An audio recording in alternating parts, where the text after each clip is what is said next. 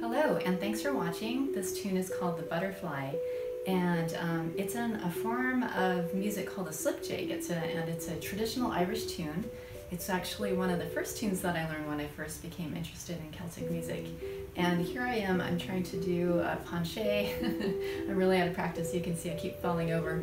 Uh, but anyway, I had this idea of playing it on my harp and adding in somebody dancing around in a butterfly costume. So here it is, $20 at Amazon, and also putting in some videos of real life butterflies. So it was a lot of fun to work on.